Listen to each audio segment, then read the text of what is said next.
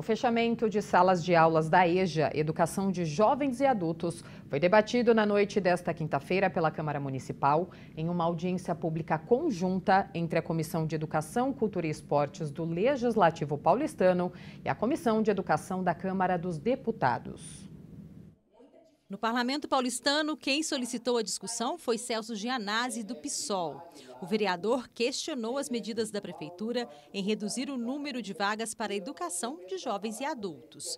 De acordo com dados apresentados durante o debate, na cidade de São Paulo, 332 salas de aulas da EJA foram fechadas nos últimos quatro anos. Um assunto que é muito grave que é o fechamento das salas da educação de jovens e adultos da EJA no município de São Paulo. São Paulo é uma cidade muito rica, com um orçamento é, assim, mais de 110 bilhões de reais, com caixa muito alto.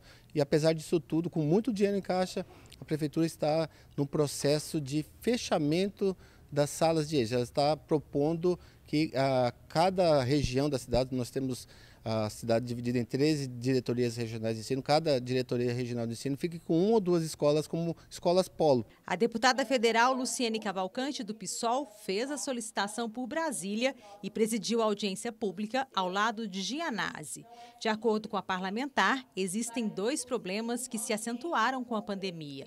A evasão escolar e a superlotação para quem ainda quer frequentar as escolas.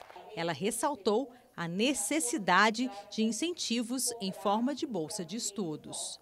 E a gente tem uma proposta também que nós estamos discutindo com o MEC, com o ministro Camilo, que é, é estabelecer pelo governo federal uma bolsa EJA para estimular que os estudantes retornem também à, à escola. Eu vim aqui em nome da Assembleia Legislativa, membro da comissão, é, da LESP para apoiar esse movimento, porque não se pode fechar sala de aula em São Paulo, nós temos uma demanda enorme e o aluno de EJA ele tem que ter a sua vaga garantida, porque a Constituição Federal garante que.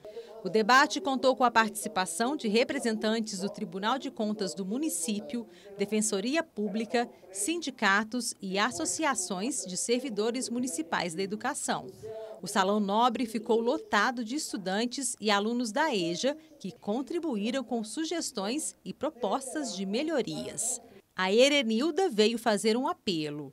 A aluna da Escola Municipal Duque de Caxias, no bairro da Liberdade, não quer parar de estudar. Eu vim aqui fazer um apelo, né, para que não feche as nossas escolas, né.